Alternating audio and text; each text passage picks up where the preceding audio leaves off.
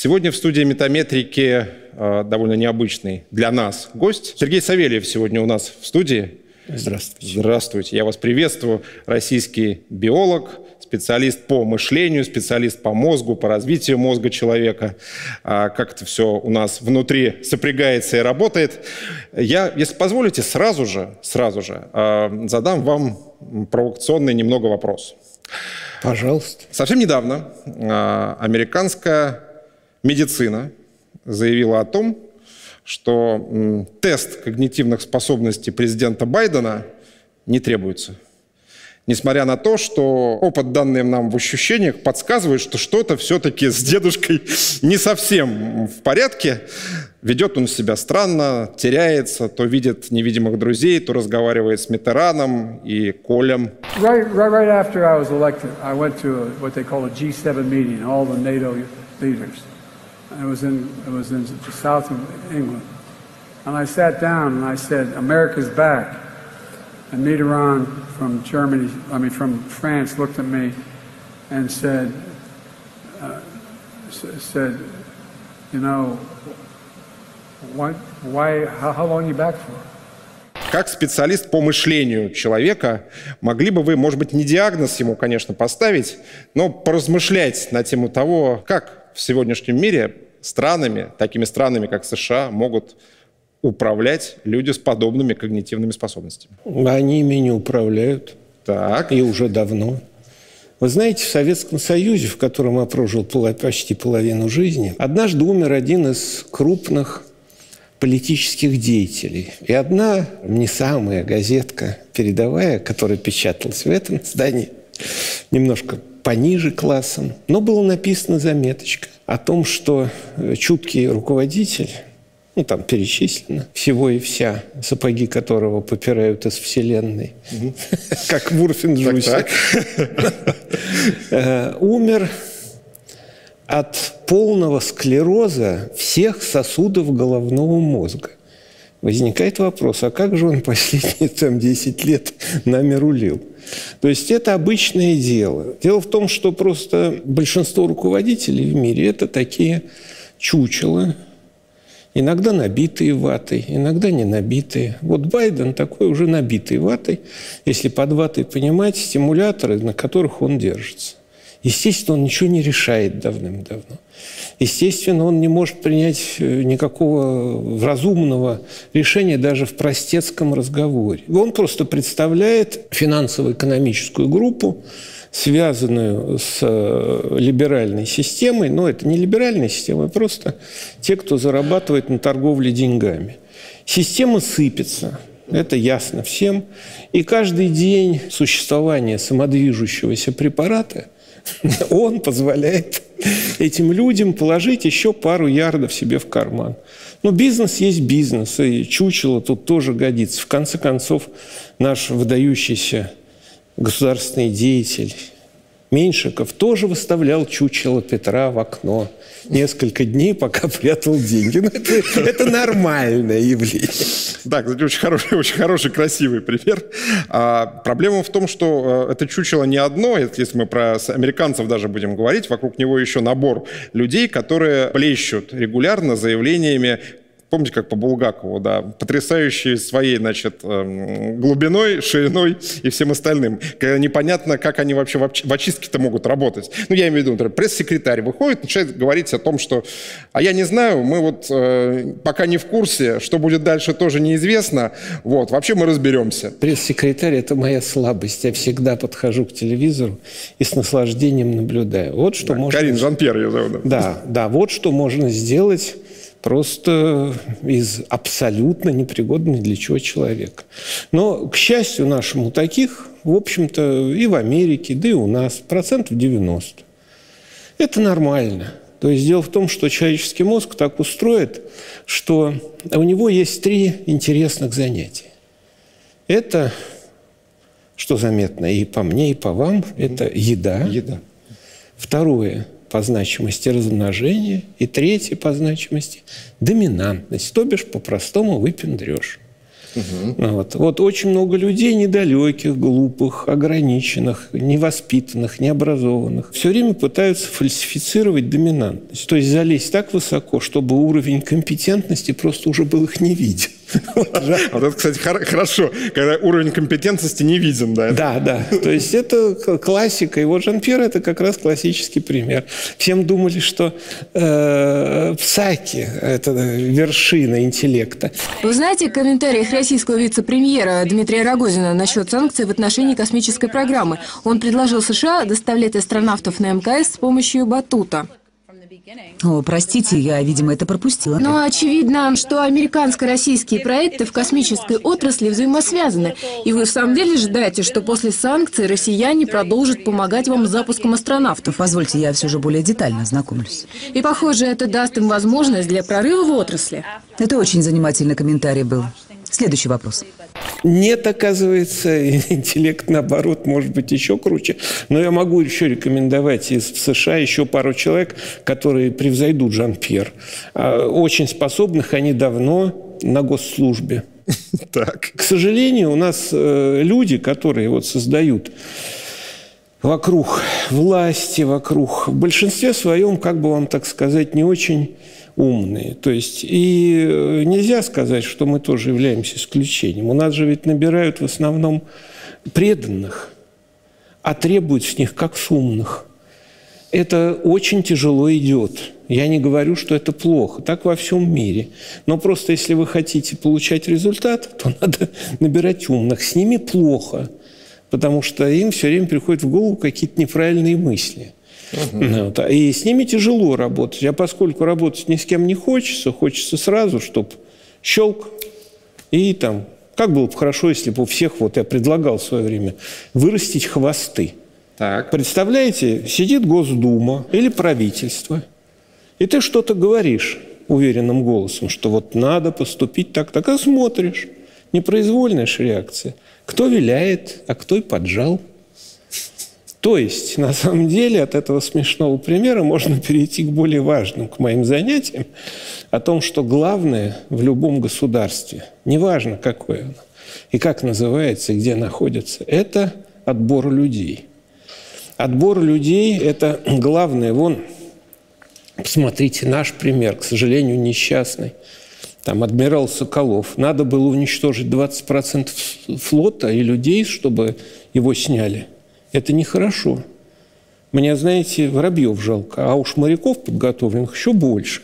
Мне не нравится, когда адмиралы и там руководители больших кораблей, капитаны стреляются из-за того, что кто-то не на своем месте.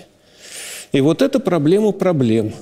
И э, подступиться к ней никто не хочет, потому что еще 17, ну уже больше лет назад я сделал такую книгу. На самом деле это была научная разработка, которая называлась «Изменчивость и гениальность». О чем идет речь? Речь идет о том, что индивидуально мозг у каждого человека очень изменчив. И настолько изменчив, что это на самом деле катастрофа. С этим нужно что-то делать. Насколько же?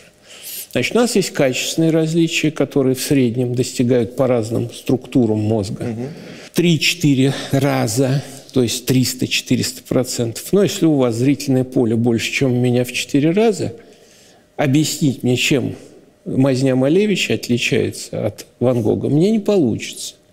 Я не пойму, просто субстрат отсутствует. Ну, понимаете, как в автомобиле, ну, у вас одноцилиндровый двигатель, тук-тук, знаете, такую машину. Ну, что может сказать глухой о музыке фон Караяна, это называется. Да, да. вот об этом да. речь идет. Угу. Это обычная вещь 3-5 раз, а есть структуры, которые различаются в 40 раз. И тут вы понимаете танцы совсем другого рода. То есть, когда ты объясняешь, например, человеку о том, что мы сейчас будем соревноваться и прыгать через веревочку – а он 40 раз выше вас, то, в общем, результат известен. И так за что не возьмись. Вот э, в мозге около 300 структур, они так изменчивы. В результате у нас двух одинаковых людей нет. Именно поэтому, если у вас есть дети, вы знаете, какие они гады. Ну, вот. Почему? Не потому, что вы плохой отец или у вас плохая жена. Нет. Э, в результате вот этой комбинации обмена генетическим материалом у них тоже уникальная конструкция мозга, как у вас и у вашей жены. и она быстрее всего будет очень сильно отличаться от вас.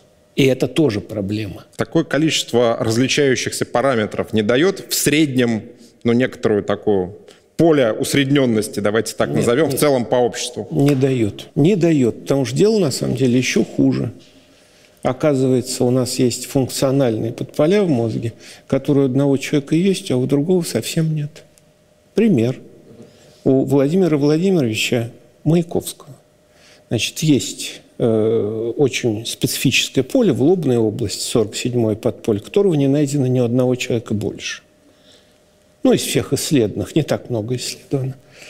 А зато в височной, в нижней височной доле, там два подполя у него отсутствуют. Их нет. Вообще. Физически нет. А это значит, что это качественные различия, превышающие видовые. То есть между волком и лисой различий может быть меньше, чем между нами с вами. А с другой стороны, если мне, опять же, не изменяет моя память тоже где-то там зашитая, а, существуют же примеры, когда люди получали серьезные а, ранения головного мозга, например, и потом а, функционал мозга перекрывался каким-то образом. Очевидно, наверное, не полностью, но тем не менее. Да, это известно все, это многократно проверено. Это как раз говорит о том, что вот это вот псевдопсихология, которая у нас любит промежполушарные различия и прочую всякую ерунду, она достаточно бредовая, поскольку сделана на ограниченном количестве людей. А я неоднократно сталкивался в своей практике, что человек попадает в аварию, начинает смотреть, глядят, у него, например, лобной области нету с левой стороны, там, где речевой центр. А он и в школе учился, институт кончил. Это к вопросу. У нас все-таки полушария два, и они дублируют друг друга. Поэтому там не надо рассказывать сказки бредовые совершенно. А на это деньги выделяются. Это целый институт на этом сидят. О том, что надо межполушарные развитие у детей усиливать. Это попахивает профанацией. Так вот, что же делать? Вопрос всегда у любого государства, у любой системы стоит, как отобрать умных, в том смысле, которые могут решать вот такие конкретные задачи – такого сорта, а и другие задачи. Как их подобрать? И вот я уже начал с этого, там, полтора десятка лет, я предложил создать такую систему, построенную на компьютерном томографе высокого разрешения, то есть который бы позволил э, анализировать э, наш мозг с разрешением в 1-2 микрона – Сейчас это 100-150. Но это лучшие образцы. Угу. И тогда бы мы позволили бы это все проверять у живых людей. Почему? Потому что это все было сделано на мозге усопших, но таких хороших людей, выдающихся. Ну, например, там тот же Маяковский, Сук, Спендиаров, Андрей Белый, ну и прочее дальше по списку. То есть очень многих людей, выдающимися, проверенными способностями. А хотелось бы при жизни – ну, вот. И э, тогда бы мы получили в руки инструмент, когда, например, для постройки гиперзвуковых ракет нужно было выделить там 10 человек с определенными способностями. И они бы эту проблему решали и так далее, и так далее. То есть это и оборонная, и социальная система, потому что разница между гением и простым человеком гигантская. Вы никогда не поймете, что происходит, если вам не объяснят потому что слишком многоходовка, возможно, слишком длинная. Но, к сожалению, это не нашло поддержки, поскольку, как сказали очень ответственные руководители, которые заседали, а что же будет с нашими детьми? А подумав, сказали, и с нами. Нет, То ну, есть уровень своей некомпетентности они да. осознавали. Угу. Конечно, это приговор массе людей, которые там занимаются не своим делом. Это ясно. Но преимущества для страны были бы огромные. Но этого не получилось. Книжка была издана в виде монографии, и большая часть этих книг ушла э, в цивилизованные страны, как у нас любят говорить. Поэтому там, может быть, и ведутся какие-то работы, но я об этом не знаю. Я все-таки хочу немножко доразобраться с этой частью, с томографом в том числе.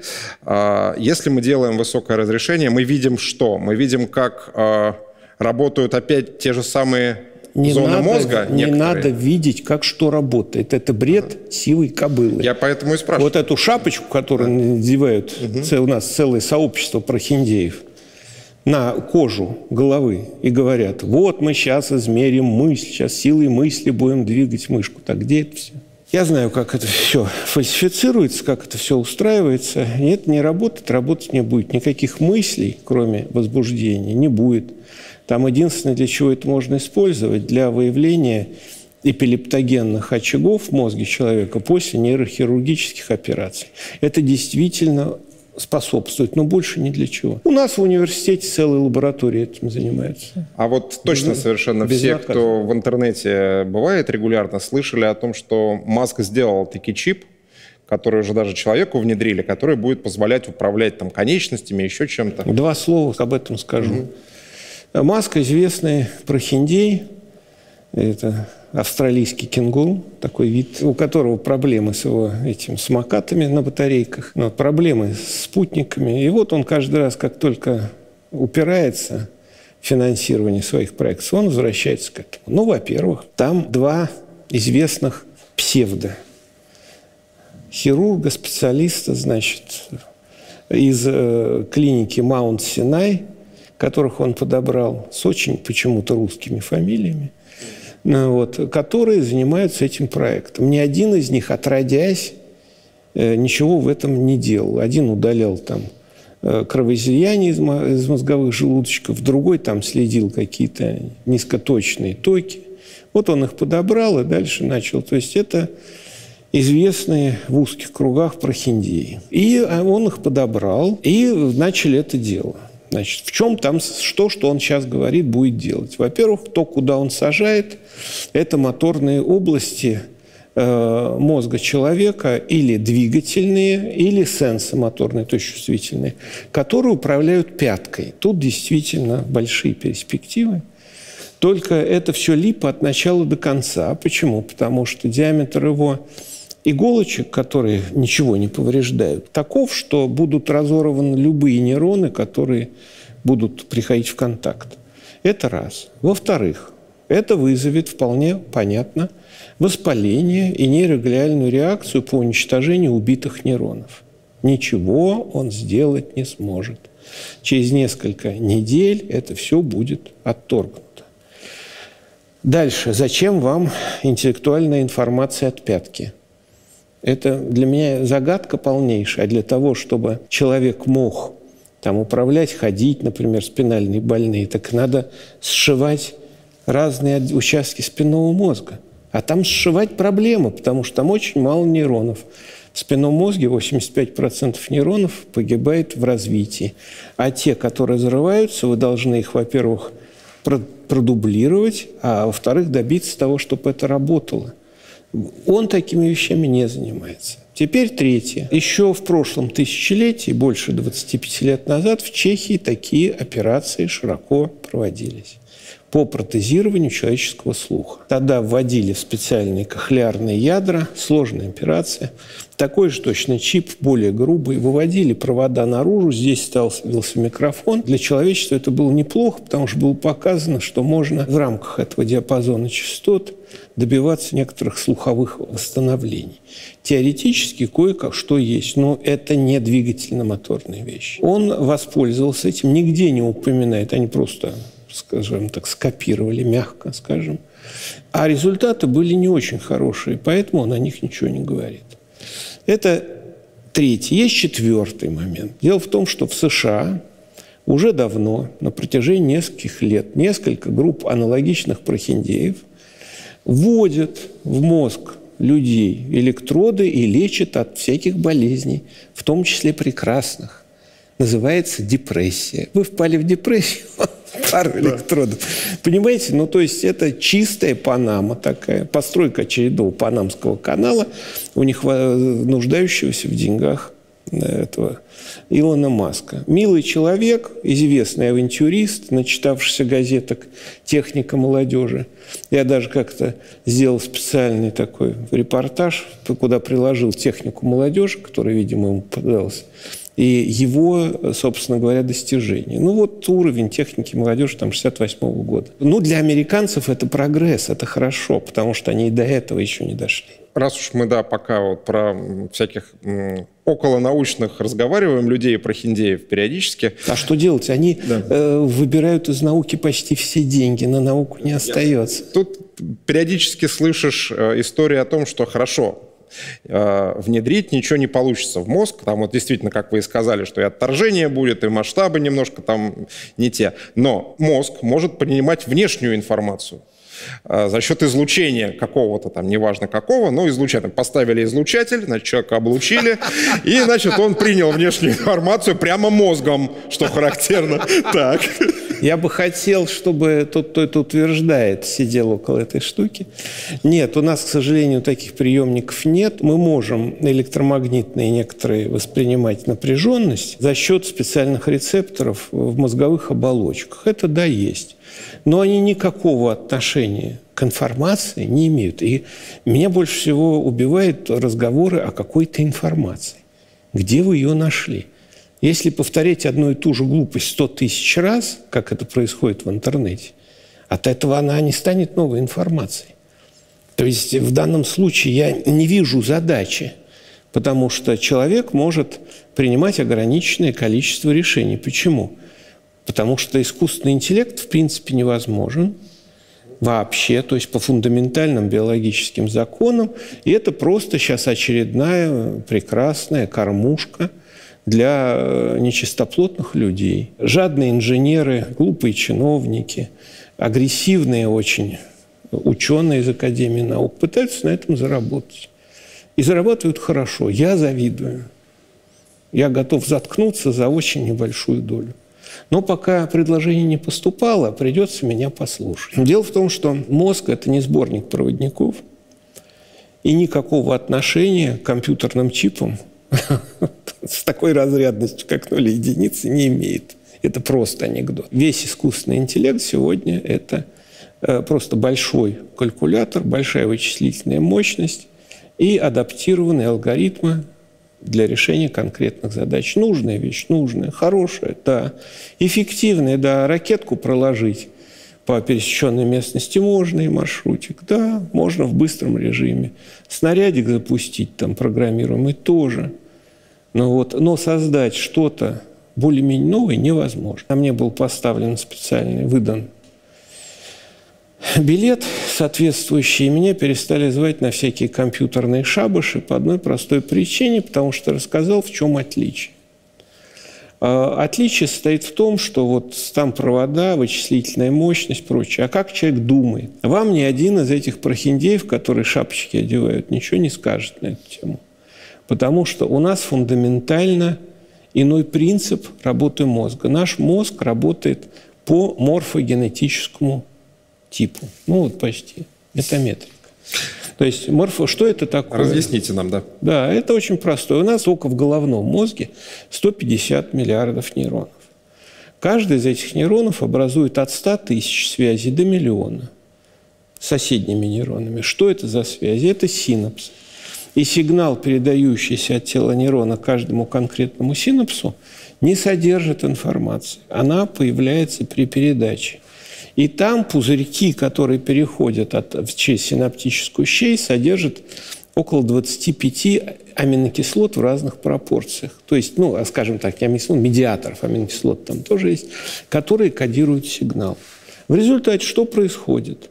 У нас передача электрическая, это инженеры знают, ура, я рад, что они уже достигли такого уровня интеллекта. А кодируют совершенно по-другому. И самое главное, что это в стабильном состоянии вся эта штука работает.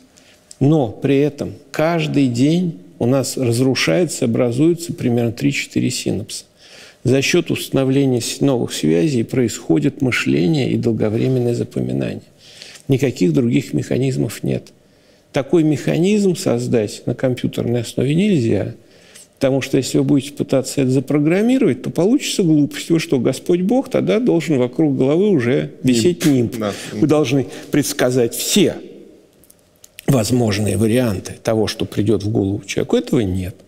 Поэтому все мышление и человека, и животных, особенно когда они решают нерешаемые задачи, оно морфогенетично, то есть образование новых связей, то есть фактически того, чего еще до этого не было. Как в этом всем участвует химия, которая отсутствует в искусственном интеллекте? Я имею в виду там гормоны. Химия, ну, простое. конечно, да, там, да. если вам 14 лет, и у вас ничего, кроме причинного места, вас не интересует, и обладательниц там, или обладательников угу. такого же причинного места, то у вас, естественно, в половой системе там идет активный морфогенез, и вы ищете способы, как бы наделать Побольше копий. Побольше Слов. генокопий, да, потомков, покрыть землю метровым слоем этими самыми потомками. Больше ничего.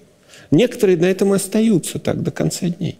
Вот. Это размножение да, и доминантность. Это биологические фундаментальные вещи, которые сидят у нас в специальном отделе мозга, называющейся лимбической системой. Она всю жизнь конфликтует с рассудочной.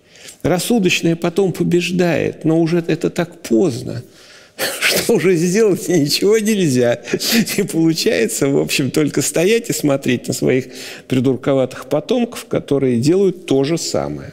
Вот, вот этот замечательный цикл человеческий, он широко распространен.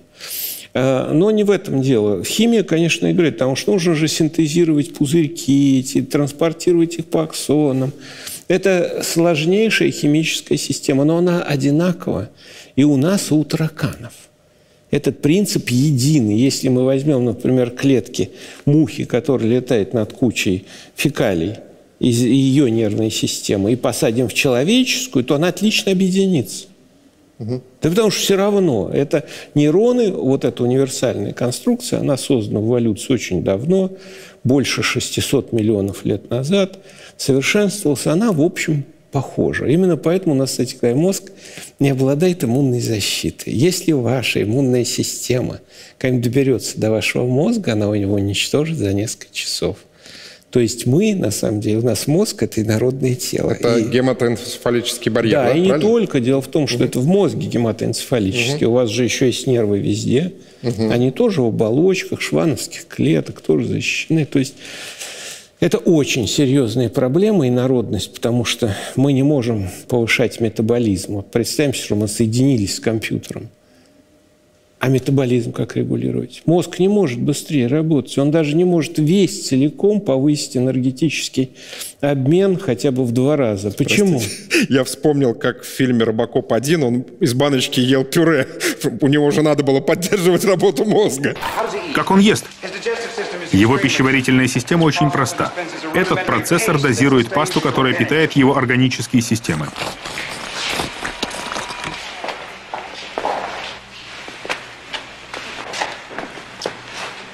Похоже на детское питание. Не суетись. Да-да-да. Ну вот, ну это так. Там не так все выглядит. Для того, чтобы мозг работал, например, просто на пределе своих возможностей, mm-hmm. даже если у вас, вам сюда будут пихать колбасу из черной икры, а тут будет вываливаться все, что уже переварено, все равно метаболизма не хватит, потому что мозг – забарьерный орган, там надо протаскивать через кучу клеток, тратить кучу энергии. Поэтому это все мистификация огромная. Э, вопрос такой, можно ли это решить, проблему с искусственным? Да, можно.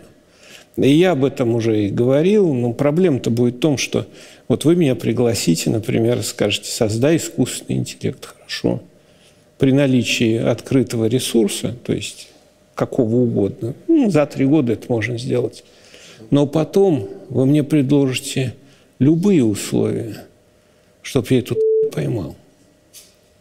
Почему? Потому что как только будет положен в основу принятия решения морфогенетический принцип, я знаю, как это сделать, вы получите существо собственным целеполаганием, и я надеюсь, вы понимаете, куда оно вас пошлет какое место. И оно будет решать свои проблемы. И вы попробуйте потом его поймать.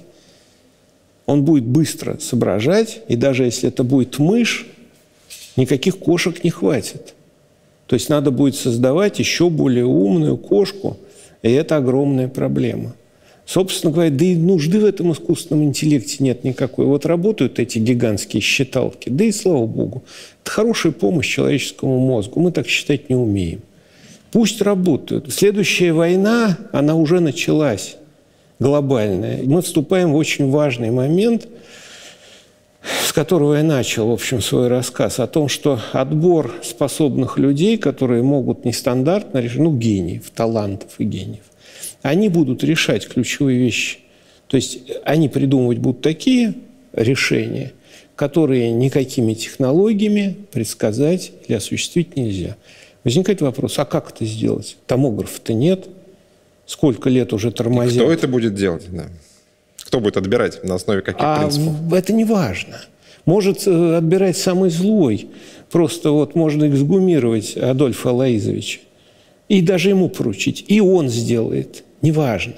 Потому что как только у вас появится первая сотня гениев, я надеюсь, вы понимаете, что они сделают Будет своими... То же самое, что с тварью с э, Да, своими да? создателями. Угу. Поэтому это все очень хорошо, потому что э, гений – это другая история совсем. Потому что э, гений, да, сожрут своих создателей, это неизбежно, потому что они просто умные. Ну, это такая эволюционная, получается, вполне Да, но история. у нас будет совершенно другой уровень решения, в том числе, проблем. И с медициной, и здравоохранением, с техникой. Ну, вот. Но можно продолжать бултыхаться вот на уровне пятикантропов, по сути дела. Но мне кажется, что это не стоит делать. И есть инструменты уже. Уже мы, поскольку с томографом, как бы так помягче сказать, нас не сильно поддержали. Правда, уже у некоторых открылась специальная чакра, и Бывает. вроде бы процесс пойдет в обозримом будущем. Очень надеюсь, что не понадобится ее, эту чакру прижигать паяльником. Ну, вот. Иногда это нужно. Ну вот. Э, но есть и другой подход. Мы можем, поскольку мозг у нас так устроен, что мы э, обладаем рядом человеческих свойств, чисто человеческих, которых нет у приматов. И полями, и под полями некоторыми, которые у приматов или очень плохо выражены, и очень маленькие. Но нужно... полями мы имеем в виду не энергетические поля, а Энергетических зоны, да? полей никаких Я на всякий нет. случай уточню. Я говорю еще раз, это прохиндиада сплошная. Какие поля? Какие? Я в свое время приложил много усилий для того, чтобы э, издали книжку Гуровича, который изучал эти самые морфогенетические поля. Почему? Потому что они действительно есть. Они очень коротенькие, маленькие, связаны с э, энергетическим обменом клетки никаких полей, никаких подсоединений к космическому разуму не существует. Это, ну, есть больные люди, там, ну, всякое бывает. Ну, вот, мозг наш преподносит иногда сюрпризы, особенно в области психиатрии. Но этого мы касаться не будем, отдельный разговор. Смотрите, если э, мы действительно хотим, например, э, создать ну, предположим, да, пока не поколение гениев, да, пока не поколение, а вот какую-то группу гениев, да, может быть, другой метод сработает, если мы не, смо- не можем их вычислить, может мы быть, можем мы сможем их, их ну, вычислить, ну, предположим, да, если мы не сделали томограф, как бы вот у нас его нет, да, а, но часть людей говорит о том, что, опять же, в интернете я пользуюсь слухами в данном смысле намеренно абсолютно, чтобы мы про них поговорили, а что мозг-то у нас работает всего на 10% у каждого человека. Это у психологов действительно у всех так работает. Да, поэтому нужно же чего? Нужно препаратики какие-нибудь, Слушайте, которые... это бред сивой кобылы. Это у психологов на 10% работает. Вы юмора не поняли? Я, нет, я-то понял. а, так, ну, на сколько процентов быть, работает мозг по данным Надо быть науки? полным идиотом, чтобы это утверждать. И идиоты мы знаем, где находятся. Где они воспитываются, выращиваются. А, дело в том, что человеческий мозг, если бы он работал на 10%, то это мозг умирающего человека, то есть покойника почти остывающего. Дело в том, что наш мозг весит там, 1300 грамм в среднем. Потребляет в норме, когда вы лежите с бутербродом во рту и смотрите метаметрику. Ну и так полувдреме, значит, попивая кофеек, значит, смотрите все. В этот момент, э, перед отходом ко сну, мозг потребляет около 9% всей энергии организма. Прикиньте – он весит одну пятидесятую, а потребляет 9%. Ну, до 10 в зависимости от массы тела и размеров мозга. А теперь представьте, вы о чем-то задумались. Ну, для девушек это понятно, женится или не женится. Это понятно тоже. Для э, мужчин тоже понятно. Там третий ребенок или пятый. Там, и куда девать жену после этого. То есть э, неразрешимые проблемы. Он начинает интенсивно думать. Тогда потребление повышается в два с половиной раза, до 25% от всего организма. Представьте себе, такая проблема.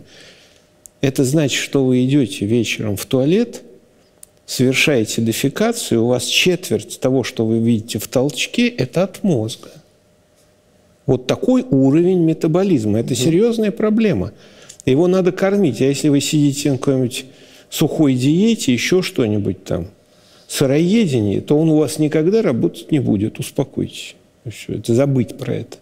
Его надо кормить белком, жиром, огромным количеством электролитов, витаминами и прочее, иначе работать не станет. Поэтому говорить о том, что он работает на 10% – анекдот. Плохой причем. А 25% энергетических расходов человек может выдержать ну, две недели. После этого мозг в старые времена до исторического материализма, когда еще с врачей спрашивали, что они делают, это приводило к неврологическим расстройствам, нервному истощению. Было такое заболевание. Ну, в МКБ сейчас там известно, что все обсуждают, что там уже раньше было болезнью любовь, а теперь стало совсем другой не болезнью. хоть стой, хоть падай. Это лишний раз говорит, что Минздрав надо сильно укоротить, чтобы такие нововведения у нас в страну не вносились, как ЕГЭ, там, вот, МКБ и прочее. Но это мое личное частное мнение. Так вот, мозг потребляет очень много энергии, и на этом построен страшный механизм защитный от мышления. Вы думаете, от чего? От работы? Нет. Нет. Э, копать канаву намного выгоднее, чем думать. И многие э, на канаве останавливаются, потому что или там чем-то еще таким заниматься. Почему? Потому что расходы мозга намного превосходят весь остальной организм. И поэтому внутри мозга э, существует защитный механизм. Как бы не думать, вот как бы заняться полезными вещами, там, девицами, едой – выпендрежем, там, выбором автомобиля, еще чего-нибудь такого. Ну, или коньяка с сигарами на худой конец. Ну, это при нищете глубокой. Ленту полистать в телефоне. Да, это имитирует жизнь, поэтому это так, ну, это отдельный разговор про то, как надо оболванивать население, это, это можно рассказать отдельно. А пока, значит, о более простых вещах. Вот как мозг защищается от избыточной работы. Мы же видим вокруг себя – народ не очень напрягается. И при первой возможности соскакивает с любой работы. Лишь бы поменьше работать, побольше получать. Есть, конечно, маньяки многодетные, которые носятся на пяти работ, но таких немного. И то в основном они, это связано с большой клизмой со скипидаром и патефонными иголками, которые каждое утро им ставит жена. Они самодвижение внутреннее – так вот, если не отвлекаться, посмотреть на все на это, то в мозге существует очень сложный механизм защиты от таких потрав, от таких расходов энергии. Ну, представляете, 25%. Вот все мускулатуру меньше потребляет. Это чего? То есть качок в зале расходует меньше, чем какой-нибудь задохлик в очках, когда он сидит и решает за компьютером неразрешимую проблему. Это, кстати говоря, рекомендации девушкам. Если вы начнете пользоваться головой, вы начнете быстро худеть. Это правда. Мне многие пишут в ответ на ролики, что вот стала думать, резко похудела. Но женщинам это делать очень сложно. Это отдельная история. Но только вот что получается? Как сделать так, чтобы заставить себя думать? Это сверхзадача. Почему умных довольно легко выявлять ну, по нашим технологиям. Пока не дороговато, конечно, для массового применения, но уже возможно. Для критических структур это возможно. Что же делается? Человеческий мозг в ответ на снижение энергетических расходов, ну, с 25, допустим, там, до 15, он тут же вырабатывает очень полезные вещества. Они широко известны населению. Они называются каннабиоиды и опиоиды, эндогенные. И у взрослых людей это преимущественно каннабиоиды, которые э, доставляют массу удовольствий. Причем их не надо как-то это вводить, они уже там есть. Вы просто ленитесь, воруете, спите с другой женой, не ходите на работу. Ну, в общем, всякое такое. Нет, еще есть вариант очень хороший, духовный. Вы начинаете духовно расти и живете по инструкции, неважно какой религии. Угу. Это тоже поощряется в том смысле, что каннабиоиды регулярны. Ну, ну, поэтому... Все ясно, схема работы мозга ясна, никаких этических других проблем нет. Да никому не ясна, просто нет никакой необходимости думать. Вам ну, я про это говорю. дали, да. да. Ну, вот. И у, особенно тяжело у детей. Почему? Потому что у детей к каннабиоидам присоединяются опиоиды. И до полового созревания у очень многих людей они в достаточно большом количестве вырабатываются в ответ на безделье, праздность, ну и прочие всякие детские удовольствия. Поэтому каждый из нас вспоминает же детство. И думает, как там было хорошо. Ну, конечно, было хорошо. Перло бесконечно, да? Конечно, под двумя косяками. Нормально, да еще разными. Конечно, отлично было, никаких вопросов. Ну, а все так о детстве вспоминают, как, как было хорошо, там, тра-ля-ля-ля-ля. Ребята, вы себя-то придите. Это защита мозга, просто у детей он должен развиваться, расти. И если вы его будете перегружать, так как взрослые – то э, вырастет, в общем, черт знает что. То есть в целом вы против того, что в современных системах образования почти везде детям там 6, 7, 8 лет э, прям их нагружают задачами, нагружают Да, я категорически уроками. против. Почему? Угу. Там есть фундамент, там есть книжка такая, называется «Морфология сознания». Я специально написал, потому что мне безумно жалко детей. Не то, что я такой пацифист. Упаси меня Бог. Но мне жалко детей, которых многие продвинутые мамки просто фактически уничтожают их будущее. И поэтому я написал двухтомник «Морфология сознания». Это о том, как развиваются дети. Вот начиная как папа с мамой согрешили, вот и дальше что происходит? Что там они видят, что они не видят, что не слышат, что не слышат. Там глухи в животе мать. Но там много глупостей, на которых паразитируют детские психологи, педагоги полуграмотные. Этого полно. И калечат детей. Я где-то видел вашу цитату, что поколение между 12 и 22 годами, по-моему, вы сказали, что оно потеряно вообще. Да, оно очень сильно потеряно. Но и у нас это будет продолжаться. Нас, я говорю, надо чистить Министерство э, образования, вот особенно школьного, просто целиком. Просвещение. Просвещение, потому что ну, там не могут быть люди с теми же самыми рыбьими глазами, которые вводили ЕГЭ, а сейчас вот меняют. Ну, это невозможно. Ну, вот они уже не могут измениться. Так вот, вернемся к этому делу. И вот эти, в этих книжках как раз описываю очень важный момент, который никто не хочет на обращать внимание, а это для детей самое главное.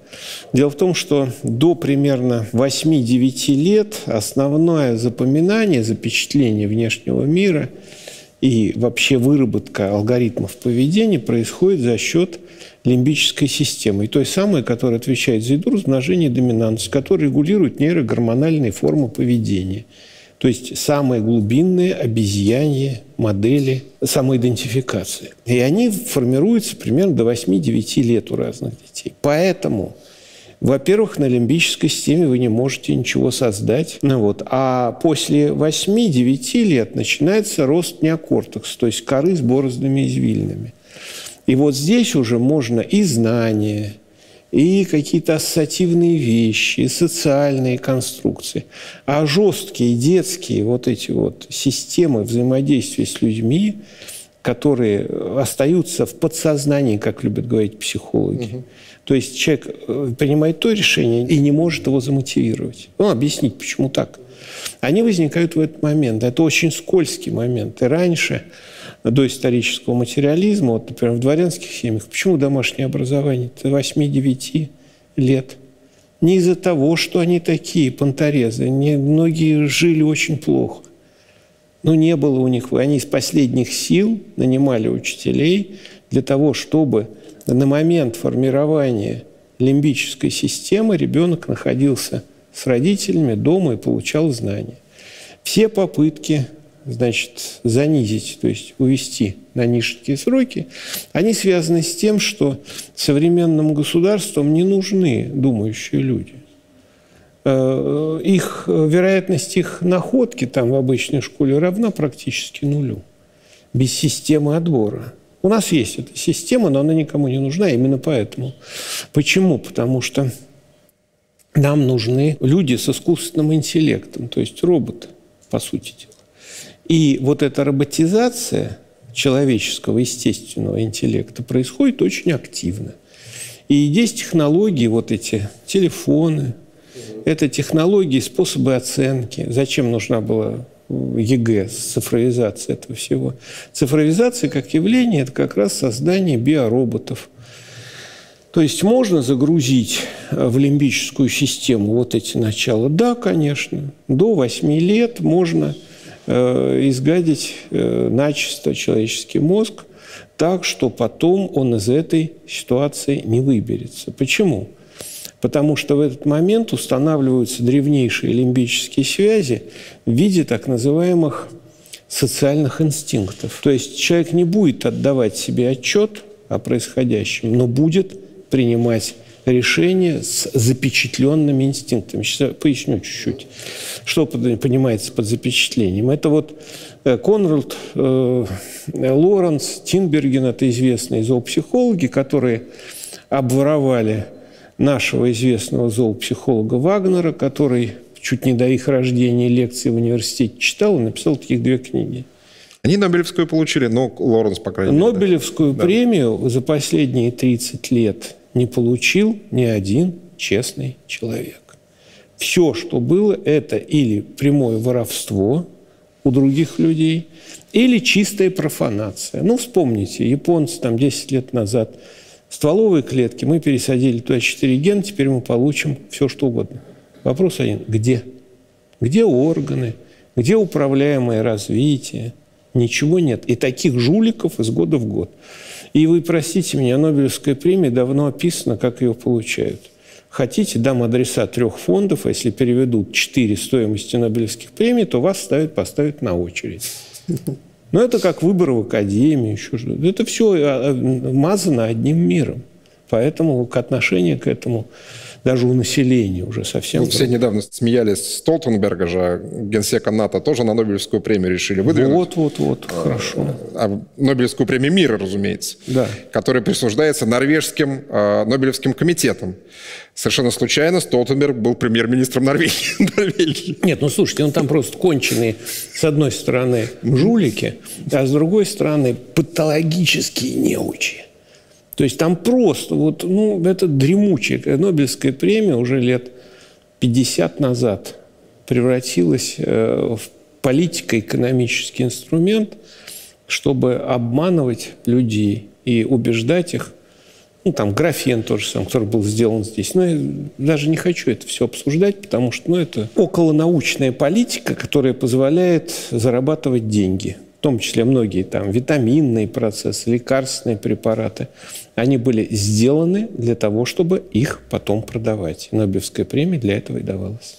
Мы про детей вот сейчас говорили, а есть еще ведь такая интересная теория, ее западные наши партнеры – кавычках, долгое время проталкивали, и к нам в том числе, а, поколения, вот эти там Z ну, там, и, так далее, вот эти всякие разные поколения, которые якобы и мыслят по-разному, и ведут себя по-разному, и у них разные мотивации поведения, и это все нужно учитывать в рамках, там, не знаю, каких-нибудь, а, в том числе рабочих процессов, как к этому относиться. Ты вот из какого поколения? Из этого тебе вот так будем относиться, а к себе вот так.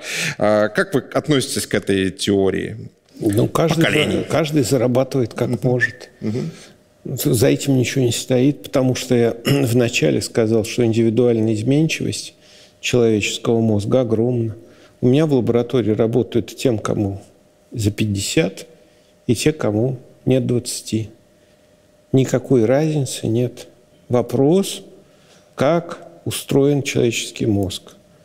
Конечно, быстрее всего канаву копать неандерталец будет чуть-чуть иначе, чем мы, но вряд ли сильно иначе. Так что я не думаю, что там 50 тысяч лет, как ты сказалось, на копание лопатой. А все с этому сводится же сейчас. Зачем хороша компьютерная технология? Через пару поколений можно будет отучить людей читать.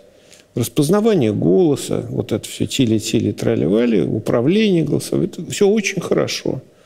То есть можно будет вырастить не просто биологических роботов, а совершенных идиотов.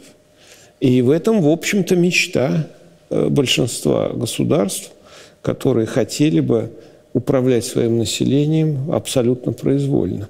Я не говорю, что это хорошо или плохо, я просто занимаюсь гоминидной эволюцией. Угу. И меня интересует эволюционный процесс. Но есть небольшая вишенка на этом достаточно пахучем торте. Дело в том, что люди так изменчивы, что нет-нет, а гении-то появляются, вопреки всему. И эти гении, их обычно не видно. Но вот они делают то, что для спасения человечества и развития по-прежнему их бы надо было сразу уничтожить на корню. Но их распознавать не умеют.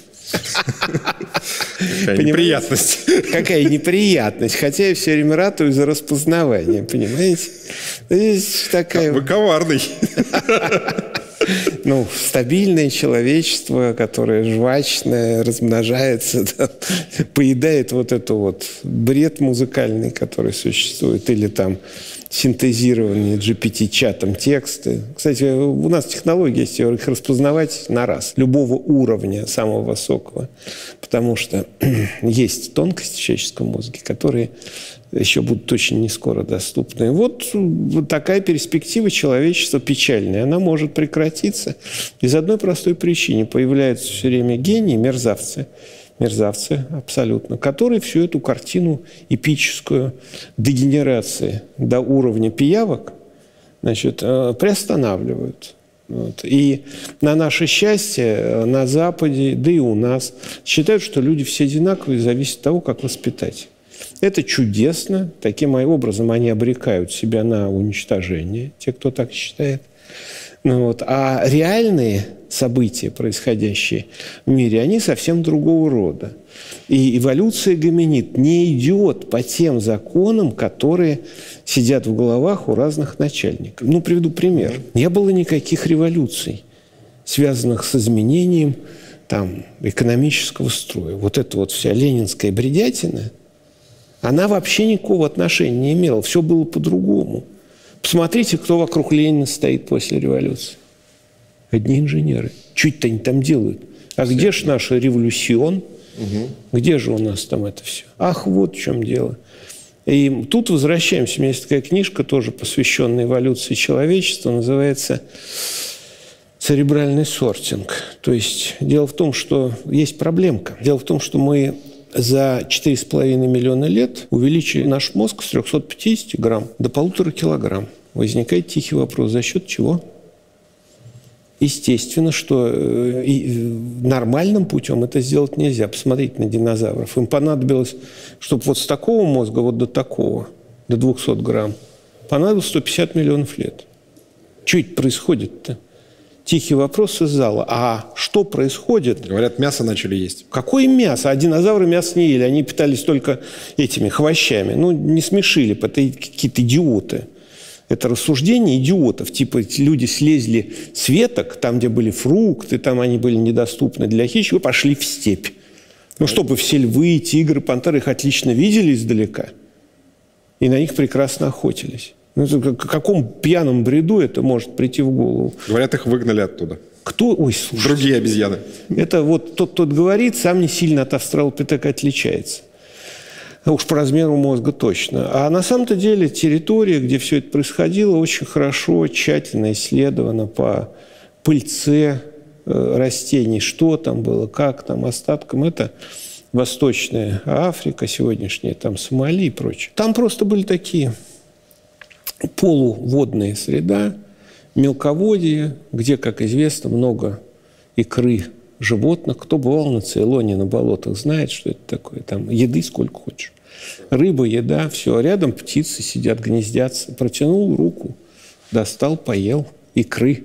Протянул руку, съел яйцо. Свернул Ну, много белка, так, хорошо. То есть вообще ничего не надо. Дальше доказательства этого. Почему 4,5 миллиона лет назад – у наших предков зубы были такие же, как у нас. Без всяких клыков, как у современных шимпанзе, горил и там бабуинов. С кариесом такие же, только через чуть другой формы. Это что значит? Ах, наверное, вокруг них бегали слабоумные повара китайцы из антропологов. Их там кормили. Откуда? Чем они питались? Они питались очень калорийной, легко доступной пищей, что и стало основой эволюции человека, поскольку не надо было за ней гоняться. Зашел в воду, там бипедальность. бипедальность, да. Поглубже. Ну, там угу. набрал все и поел. У самочек прекратился цикл годичный. Стал ежемесячно готов к размножению. Что делать-то больше нечего. Размножайся. Отсюда всякие прекрасные вещи, типа речь. Как выпендриться перед самкой? Еды полно. То есть не для э, координации усилий на охоте появляется какая, речь? Какая охота, если у тебя еды полно? Никакой бредя, это потом началось. Угу. Так вот, э, с этого момента, в общем, когда мы стали бипедальными, начался, собственно говоря, отбор, но очень отбор своеобразный. Он стал самоотбором. Угу. Это искусственный отбор. Мы отбирали методом уничтожения, прямого съедания, тех, кто не мог вести социальную жизнь. А тех, кто мог, то делился пищей с неродственными особями, тот оставался. Именно поэтому у нас лобные области такие большие. Именно поэтому женщины, которые занимаются анорексией, впадают в анорексию, умирают. Действие тормозное лобных областей позволяет им не есть и умереть. Почему? Потому что то лобные области, они не для мышления, они для торможения животной агрессии. И начался отбор по культивированию этих самых лобных областей. Мозг стал быстро увеличиваться. Почему? Потому что решали одну проблему. Когда рай вот этот закончился, пищевой, надо было выживать. Выживать можно было группами. Для этого надо поддерживать групповые отношения.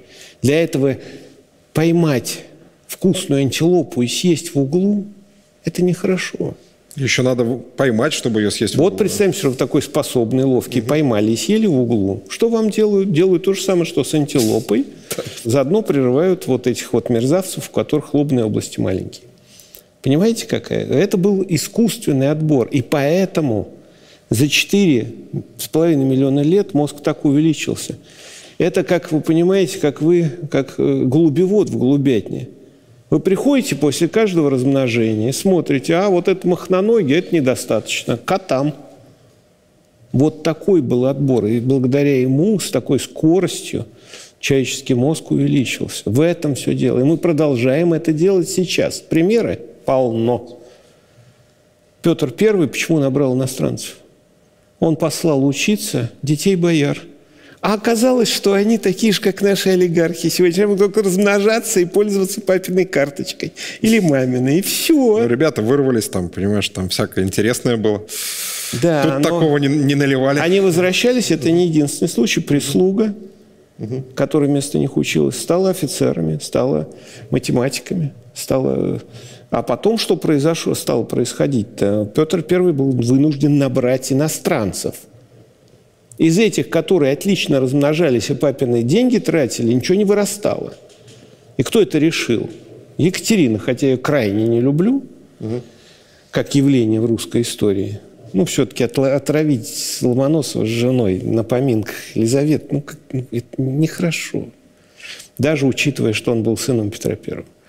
Ну, вот, но это отдельная история. Э, здесь о другом надо сказать. Она тут ничего не скажешь. Э, граф Панин ее уговорил, и она отменила использование табели о рангах, ну, то есть происхождение, угу. при наборе в арифметические, навигаторские школы. И к концу XVIII века мы решили проблему инженеров и офицеров, потому что просто нужно из большого очень количества отбирать. Тогда можно было решить проблему. То есть то, на чем потом Советский Союз тоже поднялся. А Советский Союз нет, Совет, Советский Союз начался с того, угу.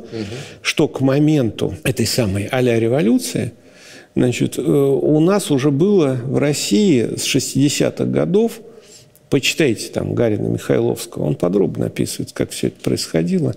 Я имею в виду выращивание инженеров. Угу. Наши вырастили у себя несколько уже, два поколения инженеров. Третье поколение – когда доходит до 15%, оно приходит к власти.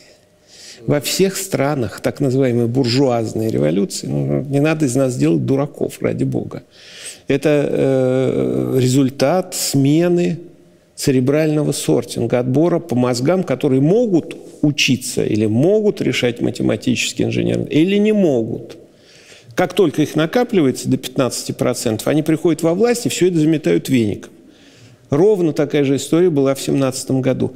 Вся эволюция человечества – это эволюция мозга, который мы сами в своей среде отбираем для решения социальных, экономических, промышленных задач и ничего больше. И поэтому сейчас происходит ровно то же самое. Сейчас отбирают программистов, ну так грубо скажем, компьютерных мальчиков и девочек, которых уже больше 15%. И в ближайшее время, значит, это может быть произойти без болезни, а может быть очень болезненно. Я не знаю, как конкретно – Ответа на этот вопрос нет, потому что это нужно серьезно исследовать, как именно это будет. То есть кому свернут, а кого и нет. А вот сейчас такая ситуация по глупости. Вырастили огромное количество таких людей.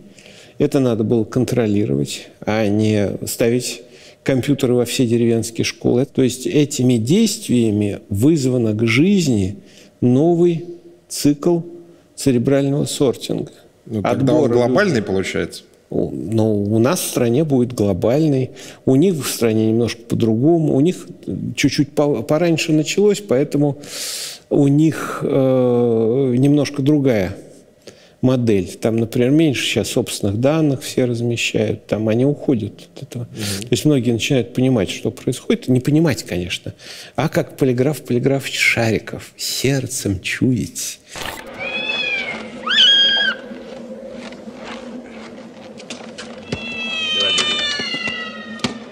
Держи.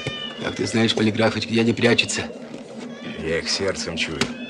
И вот они сердцем чуют, что кирдык близок. Ну, вот. И начинают, значит, вихлять хвостом, но уже поздновато. Ну, у нас то же самое. Естественно, эти люди, они не будут ничего делать, они не будут с флагами ходить революцион петь. Никому это не нужно будет, никто ничего не заметит. Но будет уже поздняк метаться. А вот есть еще такая у политических философов это теория. Кто? Да, теория, она еще от древних греков к нам идет, от Фукидида, потом от Гоббса, о том, что, например, в международных отношениях, да и вообще в политике чаще всего люди находятся в так называемом естественном состоянии. Естественное состояние – конфликт всех со всеми, война всех со всеми. Насколько это укладывается в ту модель, которую мы с вами только что описали, что на самом деле человек-то из сотрудничества скорее вырос и сам себя, давайте так скажем, разводил то есть первое существо, ну, да, которое да. начал разводить, это он сам, да, да а не собака. И приручил, а потом разводил. Вообще-то, конечно, международная политика и развитие международной политики показывает, что Гобстов в целом прав был. Потому что если их оставить без, называется, без контроля, они передерутся и перегрызутся все немедленно. Ну, это обычное дело. Дело mm-hmm. в том, что вопрос, какая цель эволюционная. Эволюционные цели мы не контролируем, а их э, контролируют биологические процессы. В этом весь фокус. Ну вот, приведу пример, понятный с Европой. Да? Вот европейцы. Почему они такие мерзавцы, неверующие ни во что? Угу. В общем, по большому счету, конечно, кровопийцы и гниды. Всегда вот. были, да? Нет, не всегда. Хорошо. Значит, как этого удалось добиться? Возникает вопрос. А добивались этого почти тысячу лет. Как это происходило? Ну, например, вы какой-нибудь князь, где-нибудь там в вонючем каком-нибудь княжестве Германии, там микроскопическом, которые и были. Германия-то объединилась в конце да, 19 да. века. Это было... В общем, надо ее привести в то же состояние, чтобы больше не выступали. Ну, это моя точка зрения. Ну, вот. вот вы князь какой-то, у вас там кто-то не платит десятину, да? Так. Что делалось? крестовые походы откуда начались? Он обращается к соседям, говорит, у меня совсем здесь все, в общем, разбаловались, надо как-то их это... В ум привести. Да, в ум привести. Собираются 3-4 князя, собирают своих ратников, потому что держать их дорого. И в этот район, который, значит, не платит. Ну и там как? 80% населения на копии. Обращаю ваше внимание. 80. Никакая чума этого не давала. Ну и дальше что происходит? Оставшиеся начинают все делать правильно. А кто выживает? Вот здесь самое главное. А тот, кто заложил князю соседа, кто решил воспользоваться его землей, кто решил воспользоваться его скотом, родственниками, зданиями. То есть самые гнусные подлецы – они получают репродуктивные преимущества, оставляют многодетное потомство. Вот вам и результат тысячелетнего развития Европы. Плевать им на все эти религии. А эти качества передаются по наследству? Нет, их каждый раз выбивают, выбивают и выбивают. По наследству передается в основном хорошо лимбическая система, как раз с наиболее подлыми одноклонностями. Ну, вы знаете же, по родственникам, по знакомым, что обычно потомки наследуют самые мерзкие качества своих родителей. Вот здесь все хорошо. Вот рассудочную деятельность, трудолюбие, интеллект – это редко. А вот это с удовольствием и всегда. Вот, вот, собственно говоря, что и так за тысячу лет вот этот отбор привел к этим вещам чудовищным. То есть мы не видим – они готовы имитировать, но для того, чтобы их опять на копье не посадили, что хочешь. Угу. Поэтому с ними вообще разговаривать не о чем. Там чисто биологический подход. Вот тебе пирожок, сдавайся. Нет, значит, умирай. Все. Там не о чем говорить, не о чем договариваться. Там бесполезно. Да, были взлеты, там, культуры, искусства. Посмотрите, кто взлетал, и кто кого надувал, чтобы взлететь. Пфф, богатые люди, князья там заказывали выдающиеся произведения там, за огромные деньги. Ну, естественно, всякий художник хочет продаться подороже. Ну и все, это нормально. Но этого мизер, мизер, мизер, мизер. И получается, что мы сегодняшний э, момент будем воевать в, обожили, в ближайшем обозримом будущем именно э, по биологической части, не по рассудочной, не с разумными людьми. Нет, мы будем воевать э, с плоть, от плотью эволюции, которая не человеческая, а биологическая. Поэтому особенно скорбить не надо. Просто там еще есть масса тонкостей, о мозге, что мне говорить, пока бы не хотелось. Но перспективы вот такие, к сожалению. И ничего другого не будет. И сделать ничего нельзя. Вот, ну, почему так ожесточенно мы воюем потому что там несколько прошло вот этих циклов от трех до восьми лет. И у них вот эти социальные инстинкты, направленные на вот такое поведение, с которым мы сталкиваемся, они вполне искренне будут умирать в окопах. Почему? Потому что там прошивка лимбическая произошла. Вот этого допускать нельзя – Сейчас то же самое происходит в странах, там, в Казахстане, в Узбекистане, Таджикистане. Это надо немедленно останавливать, иначе будет э, такая же проблема, как с Это очевидные вещи. И для этого нужно как раз использовать отбор людей, которые могли это все безболезненно организовать. Это можно безболезненно организовать. Просто для этого э, надо набраться как-то политической воли. Существующие инструменты отбора квалифицированных, мотивированных, э, предположим, да, молодых людей. Ну вот там Россия страна возможностей, например. Да, да, вот недавно знания, победитель да? этого да. конкурса удрал с деньгами на Запад. Да, ну, да, так да. бывает и такое, наверное. Там же а, не бывает а стопроцентного а результата ни в одной системе. А куда делись все вице-премьеры? Из нашей страны? Вот видите, простой вопрос, очень ответственные люди, прошедшие все эти отборы, сразу же переселяются в дальние страны. Поэтому проблема эта так же остра, как раньше. Ее имитация в Сириусе где-то там ничему не поможет. Мы должны работать с каждым человеком индивидуально. И не по его имитации, а то, знаете, я в свое время видел, как шли в райкомы ВЛКСМ для того, чтобы надежно устроиться в цыковском распределителе угу. в очереди за колбасой, которой не было в магазинах. Сейчас происходит ровно то же самое. Люди, которые туда пошли, они уже непригодны. Для чего они туда идут? Ответьте на этот вопрос, ответьте, почему они непригодны. Я что-то не встречал, чтобы человек туда шедший э, говорил что-то кроме лозунгов, а это плохой признак. Ну вот. И поступал как-то иначе. что говорит о том, что цели у него совсем другие, просто как у Штирлица в кино. Нет, ну это же мотиваторы политического Ничего поведения. подобного. да? Это мотиваторы, Страх и надежда классическая. мотиваторы пищеварительного поведения. Чистая пища, чистая доминантность, чистый социальный прогресс, который не зависит от твоих способностей. Что они делают? Ну, надежда это же и есть выгода и слава. То есть, соответственно, мы получаем те самые две... Нет, лю- некоторые люди идут учиться, например, в университет, чтобы заниматься наукой. Это тоже надежда, что он будет заниматься наукой. Он Такая просто не знает, тоже что быстрее всего заниматься наукой он будет ради какого-то, на какого-то работы дядю с академическим. Ну, потому что иначе где он возьмет деньги на занятия наукой? Э, да- Даже если мы не считаем, что наука – это удовлетворение собственного, как говорили да, классики, интереса за государственный счет. Вот э, я знаю, какие придурковатые классики это говорили. Я их классиками не считаю, потому что они вообще ничего не понимали в науке. В девяти случаях из десяти научные изыскания, к сожалению, плодов никаких не приносят. Да, Но это все равно, что вот вы стоите за станком, пилите, там гайки какие-то сложные, да, а вам платят за одну из двадцати. А сделайте вы хоть одинаково тщательно. Вот в науке все так устроено, поэтому никакие разговоры о практическом выходе из науки фундаментальной, никакие разговоры о том, что нам надо... Мы сейчас, например, пишем каждые два месяца отчет. Как можно в науке что-то сделать за два месяца? Можно только целенаправленно обмануть государство. Был такой мем недавно, там, когда Швондер пришел значит, с командой, говорит, товарищ профессор, мы научим вас делать научные э, открытия в соответствии с календарным планом. Да-да-да, вот у нас это сейчас вовсю.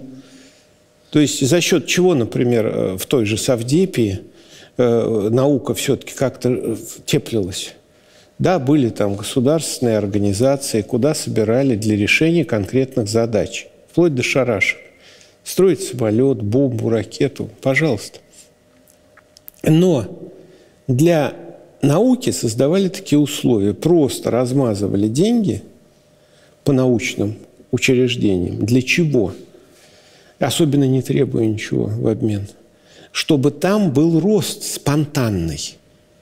Понимаете? То есть вы раздаете деньги, там какие-то ученые, что-то там они возятся. Да Возможно, случайно что-то, но тем не менее их, да. да, но когда нужно было решать государственную задачу, из этих НИИ можно было надергать. А как происходит сейчас?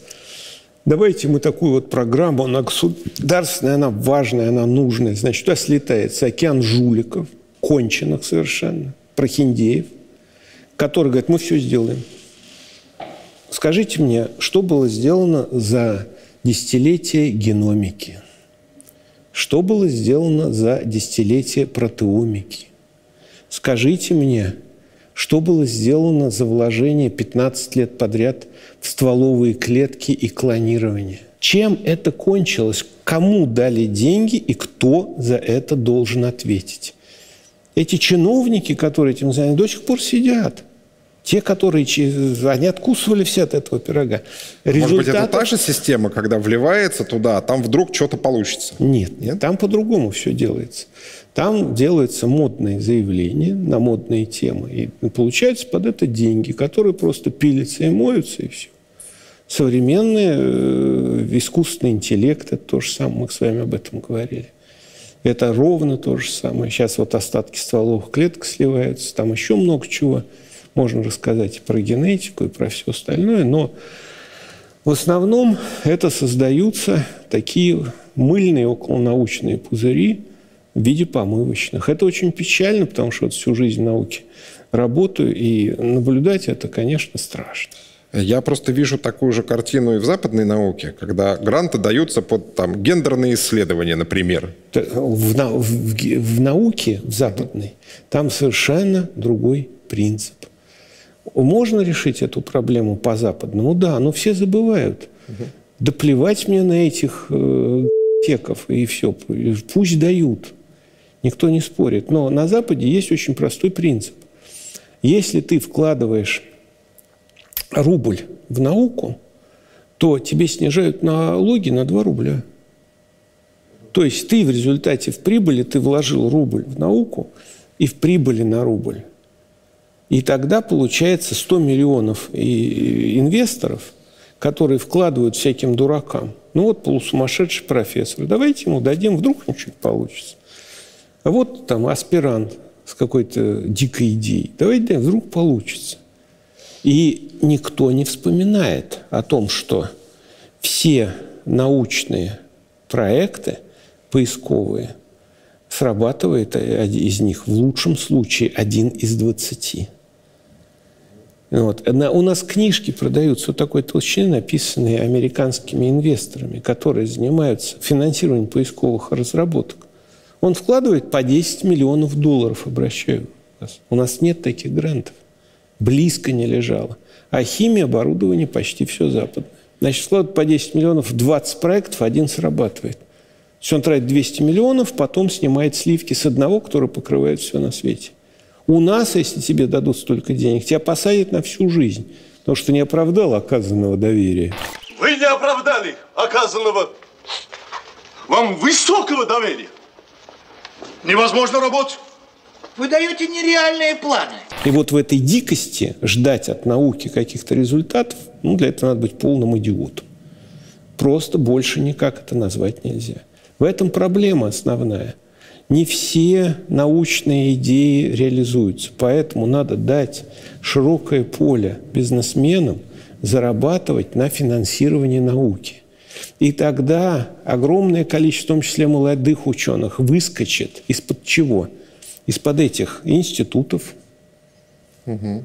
академиков, всяких государственных фондов а РФФИ, РНФ и прочее, которые тем же академикам отдают на рецензии эти работы. Он смотрит, что с его не совпадает, или, не дай бог, перспективный, он перекрывает кислород. Вот из-под этой системы самодавлеющей надо выводить науку, а вывести ее может только одним способом – прекратить центральное финансирование, сохранить для тех, кто там что-то дает, а дать возможность вкладывать в науку деньги с выгодой для, для бизнеса. У нас же этого нету. И поэтому у нас нету многих точек роста. На Западе как все устроено? Огромное количество точек роста, которые не связаны с центральным финансированием, с каким-то центральным контролем. Это что, получается ну, так, нам что... Нам это сложно. Мало ли они там изобретут что вообще бесконтрольно. Ага. Ну вот в результате такая наука.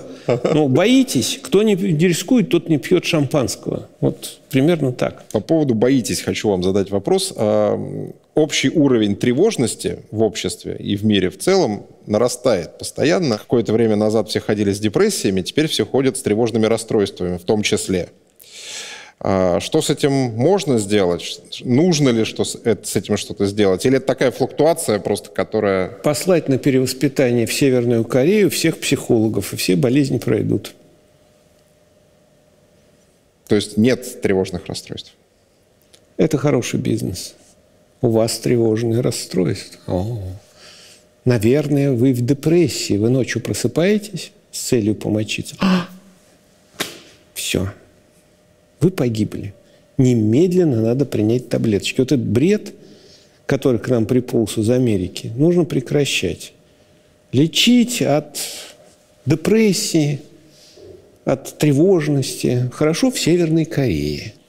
Месяца три туда, в командировочку на работы такие, традиционные. Я думаю, произойдет прояснение и в головном мозге, и в диагнозах. Но при этом люди же симптомы описывают, например, э, панической атаки. Ну, слушайте, они начитались вот этой вот ерунды, которую вы держите в руках. Там все это описано подробно.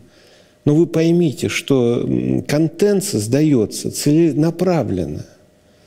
Этот контент пишут зачастую, проконсультировав с очень умными людьми, которые объясняют, как вывести из равновесия там, ту или иную популяцию – ту или иную группу людей, как довести их до суицидного состояния, даже в взрослых. Это все возможно. Мозг большой, и если вы его не занимаете мышлением дорогостоящим, он найдет себе занятие, которое вам умело через вот эту всю наладонную лабуду подложит.